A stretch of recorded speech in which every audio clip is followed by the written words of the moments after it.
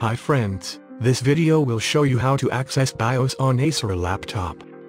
For most Acer laptops, the key you use to enter BIOS is F2, and as with all computers, you enter BIOS as the computer is booting up.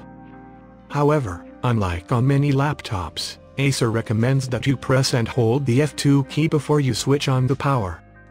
Hold down the key until the BIOS screen is displayed. Otherwise, your laptop might not recognize that you want to enter BIOS and may start up in the usual way. F2 is the traditional Acer Access BIOS key, but there are other options you can try if it doesn't work for your laptop. On some Acer laptop models, you may need to use another key to enter BIOS. The most common alternative key is the delete key, but if it doesn't work, try the insert key. In rare cases, the correct key is F10.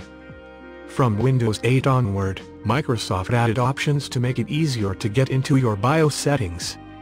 If you're looking for an Acer BIOS key for Windows 10, you can use a different approach.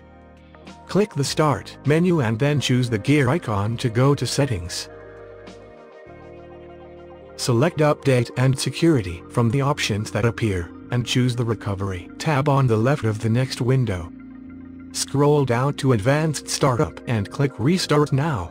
This action restarts your computer and takes you to a boot options screen instead of starting Windows normally.